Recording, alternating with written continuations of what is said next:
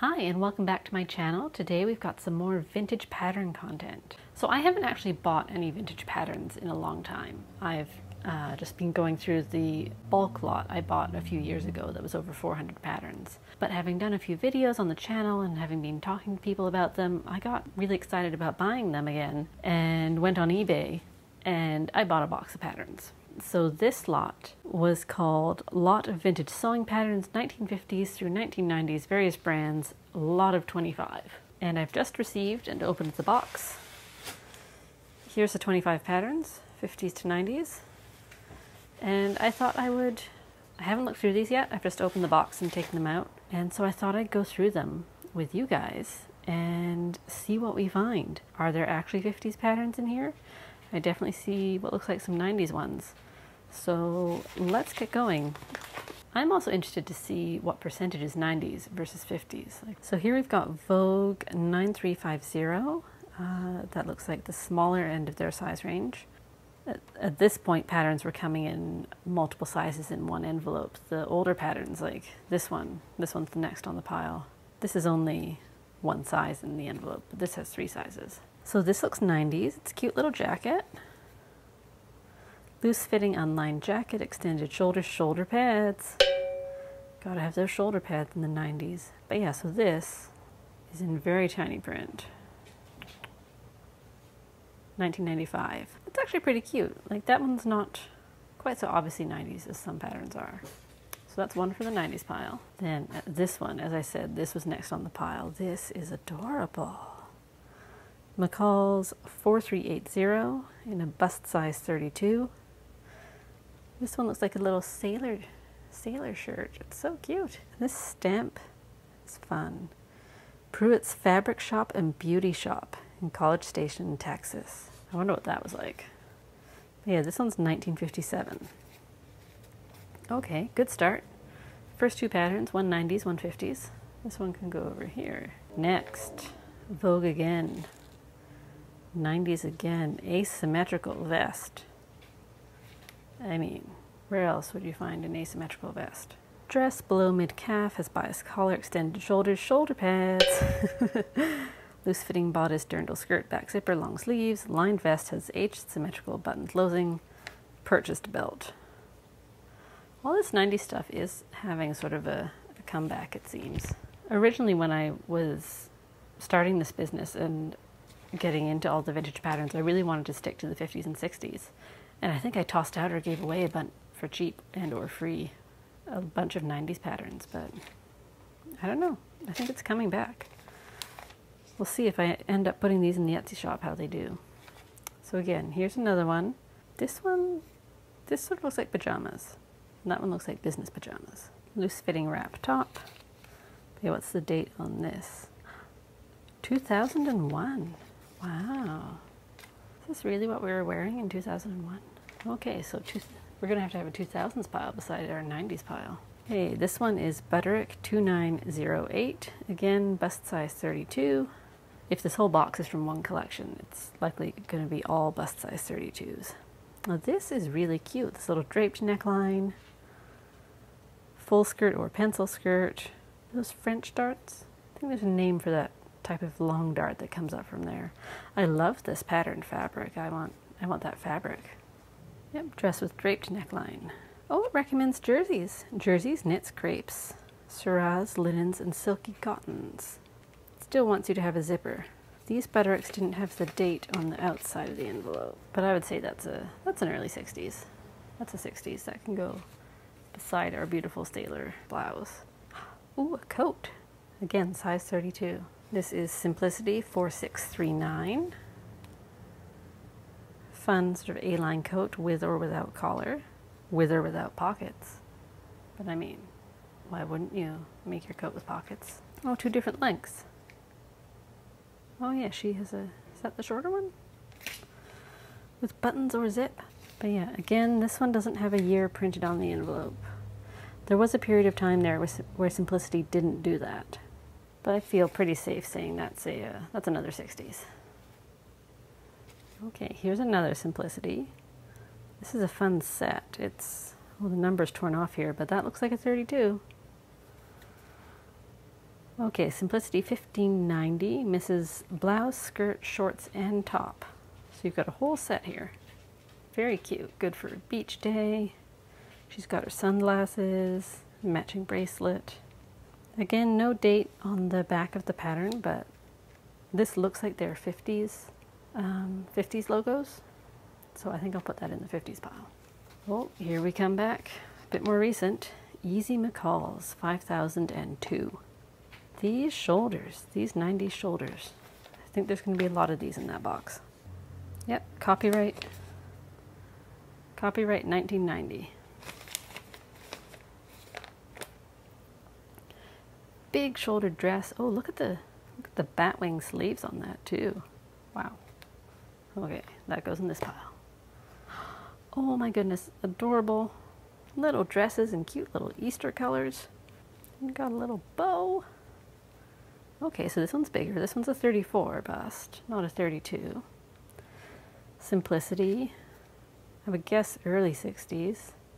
Again, not at the point where they're printing this on the envelope. One piece dress and jacket with detachable collar. Oh. Oh, so you can have collar or no, depending. I guess the collar's on the the collar's on the jacket, not the dress. So cute. I love these colors. I love this palette of like the mint and the floral. Oh, one of each of these, please. This is cute. Again, I love the fabric of this one. Butterick 2948, bust size, we're back to 32 again. This one feels, you can tell when patterns have been used or not almost by feel because there's no, like it's flat, there's no lumps. Yeah, I bet that one's never been touched. Notch collared box jacket, three quarter length sleeves, front, front button sleeveless over blouse with or without belt, straight skirt. Very cute. I think this is more a 60s pile than 50s. Oh, here's a fun ruffly dress with matching giant blazer. There's been a fair number of Vogues in this box. So this is very easy, very Vogue, 7202. Very loose fitting. It even says that. Unlined below hip jacket. Extended shoulders with shoulder pads. Always the shoulder pads. Always. You can have flared. Oh, I see. This one just has a flared skirt. This one has multiple flounces. Very fancy. So is this 90s or early 2000s? Do we not say? Will you not tell us, Vogue? Okay, here's the line drawings. As you can see, like there's little darts here, but it's basically just straight up and down. Aha. Uh -huh. So here, in the instructions is where you can sometimes check for a date if it's not on the envelope. And it's usually, I would expect it, like I originally expected it to be on this front page like with the drawing and the number and everything, but it's usually at the very end of the instructions. So here, this is actually 1988. So this is our first fabulous 80s pattern. I have to say, the dress does look pretty comfortable. You're just completely skim, skim your entire body. And then there's a ruffle at the bottom, and who doesn't love a ruffle? Okay, starting the 80s pile there. Okay, back to Bust size 32 with Butterick 2884. Is this just the jacket? Misses' Evening jacket. Cardigan jacket with three quarter length sleeves. What makes something a cardigan jacket, I wonder? Is there no closure? Oh yeah, there might be no closure on it. Again, giant dart going that way. And it looks like there's something interesting going on under the sleeve. Either that or someone just was having fun when they were doing the illustration here, but it looks like there's a, a gusset under there. Oh, there we go. Under sleeve, there's a whole piece. That's neat. I think I'll put this in the 60s pile. Oh, here's another Easy McCall's. And you know, like I feel like you, see people wearing dresses like this today, don't we? Am I just crazy? So this is McCall's 5161.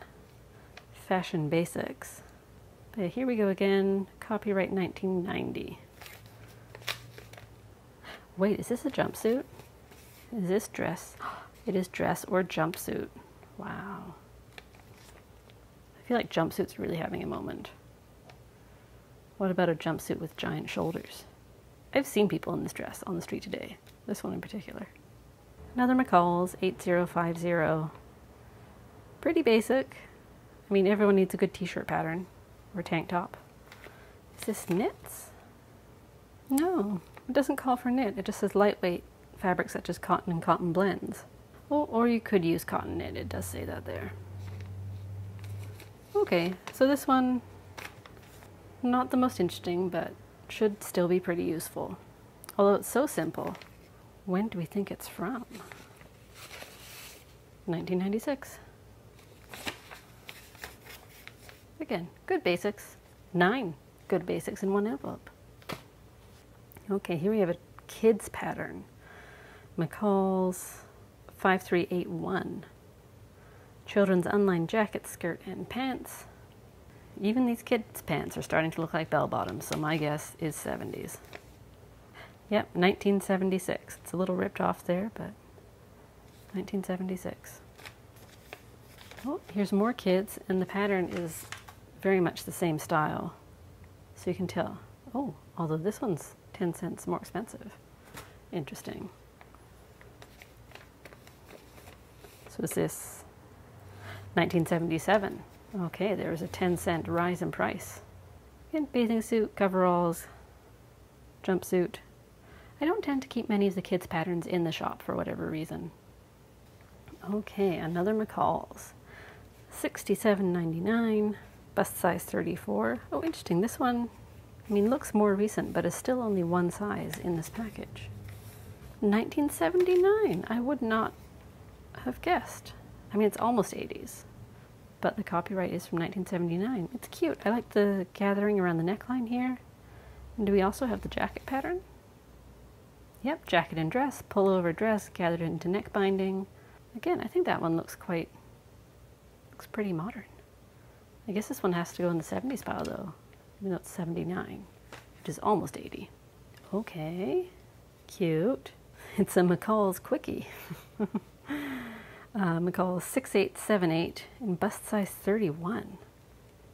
Recommended for beginners. Oh, look, you can tell. See, these two ladies look very cinched at the waist, and this one does not. So I don't think the dress has much shaping there. And these guys are just doing it with the, with the belts. V-neck dress, one piece front, two pie back. Does it mean two part? What does that mean? Dress lining and tie belt or buckled belt are options. Oh yes, here we go, down here. Copyright 1963. So that's an, oops, upside down. So that's another one for the uh, 1960s pile. Yeah, I don't think I've seen one of these uh, labeled Quickie before. Oh, this is a good one. Vogue 6988. 34 bust, 37 hip. It was only 75 cents. Look how cute. Look, the seaming on the jacket there, that's adorable. And then, okay, skirt, skirt and jacket, not dress. And here, this one has the copyright date on the front. It's a little scraped off, but I'm pretty sure it said 55. It's a bolero suit. Bolero has shaped front yoke, lap seam finish, center back seam with outside stitching. This is cute.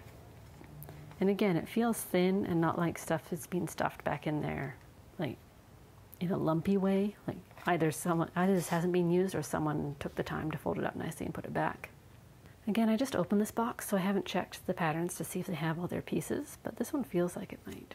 I think this one's my favorite so far, but that changes every time I pick up another one. But this can definitely go in our 50s pile. So here we have a Butterick 8232, bust size 34. And there's all the pieces. Someone's put this in its plastic in a plastic envelope with cardboard here to keep everything nice. But we're interested in this. Is this maternity? This is how a lot of the maternity patterns looked. Maternity shirt, dress, and separates. It's like I've looked at a lot of these patterns or something. and no year of interesting that it doesn't say maternity anywhere on the front. I guess, were you trying to hide it? Was it too shameful to talk about? It doesn't look like we have the instructions. This just looks like pattern pieces. This age of pattern, I can't remember if Butterick put it on the instructions, but the copyright date is definitely not on the envelope. I think I might skew more 50s and 60s, or at least maybe early 60s with this one. It doesn't look like our previous Butterick 60s patterns in the art layout, so I'm going to put this one on the 50s pile. And it's already in its own nice envelope. Okay, so here's another one in protective plastic and cardboard. Simplicity 2663. More maternity? Yes. Two piece and one piece maternity dress with detachable collar in junior and Misses' sizes. I mean, it's a cute, it's a cute coat. It's a coat or dress. What is happening here? Dress and top has a yoke set in sleeves, front inverted pleat and welt pockets. Self collar, collar, pleats. Contrast skirt has cut out front and back kick pleat. Okay, so that is what it looks like. So you put your skirt on and your belly just sort of, your pregnant belly just sort of sticks out there. And you tie here and tie this. It doesn't seem comfortable. And then you put on the coat to hide the fact that your belly's just sticking out. Poor ladies. I mean, I just like the coat. It doesn't necessarily need to be maternity, it's just cute coat. But you can't use a skirt pattern to make yourself a skirt if you like the style, unless you like the uh, open stomach look. Oh, Vogue American designer, Albert Nipon. Got a nice ruffle. Oops. Got a nice ruffle here. Some good ruffles. There's some interesting seams happening. And that sort of 80s dropped waist. It's Vogue 1479. Oh, so some of these designer patterns came with uh, cloth labels that you would pick up at the pattern counter when you were checking out at the fabric store. I wonder if it's in here. There's no year, but I think we're pretty safe at saying 80s. Oh, so all the ruffles and the collar and stuff dress, below mid-calf, has collar, pleated jabot, slightly extended shoulders, shoulder pads, blouse bodice, back button closing, pleated hip yokes. That's an interesting seaming there. Straight skirt with back pleats, back zipper, long sleeves. I wonder if we've got the cloth label. Well, no one, no one's ever opened up this pattern. It's still perfectly folded. But did they get the label when they went to the checkout?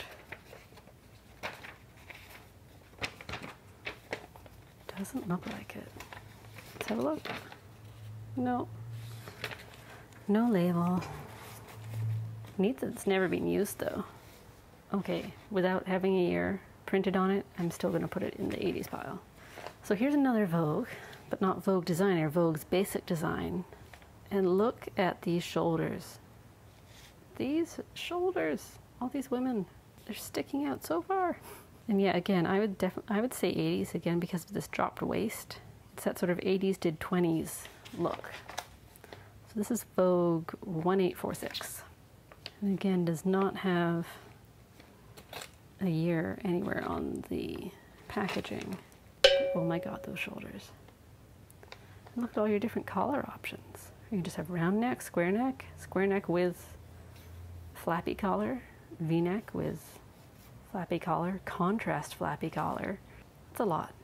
It's a lot of fabric too. Here's another Vogue basic design, 1261. Very different color story with these ladies. Must be a different season. Again, shoulders. We're also a fan of a, a neck bow at the moment. This lady looks like a spy. She looks like Carmen Sandiego in disguise. Oh, it's maternity. Oh, is this one maternity? Okay, so this one, not maternity. This one, maternity. Oh, I guess I see it now. I guess you can see a little bit of what might be a belly on the lady in the red dress. But otherwise, it's just 80s lots of fabric designs. I like the collar on this coat or cardigan, jacket, unlined, shoulder pads, of course. It's got sort of a shawl collar that I didn't really see sort of hard to see in the pattern art. Again, feels nice and flat, like no one's ever cut into it or fold, folded and refolded the pieces before. Here's our last one, Vogue Individualist. This one's actually got a photo of a woman along with a drawing. But everything else has just been the drawings. Now this one again also says ask for the pattern label. Look at those sleeves.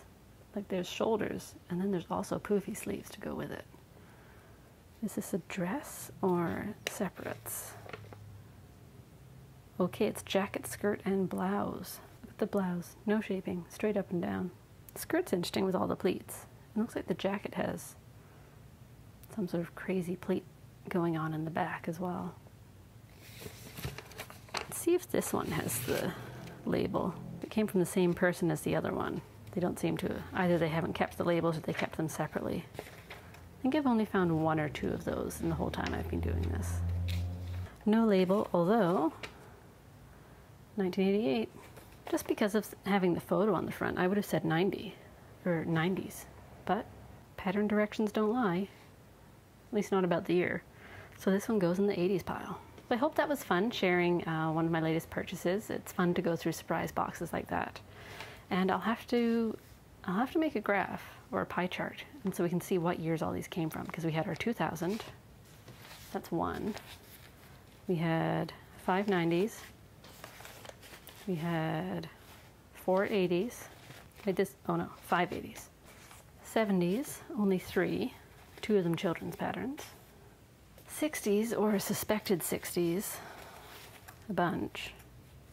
Seven and then 50s, which I think be, might be my favorite style-wise, uh, four. That was a good eBay pattern buy. I'm honestly not certain if I would keep any of these. Maybe this guy, maybe not. Partly because they're all, the 32 busts are all a little small. I think I might put some of them up in my Etsy shop in the next little while, but it was just fun to go through them and see all the different styles and how things change over the years. I really enjoy looking how the pattern envelope design changes over the years and how you can use that to help date uh, patterns. I have an interesting idea for a series of videos about that coming up that I'm still getting bits together for. But thanks for joining me on going through my eBay surprise pattern box. Uh, if you enjoyed this, please like and subscribe. There'll be lots more vintage pattern stuff where this came from, but I won't be buying many more pattern boxes like that because I do still have a big collection of my own. But it's it was fun today just to inject some new patterns into the collection.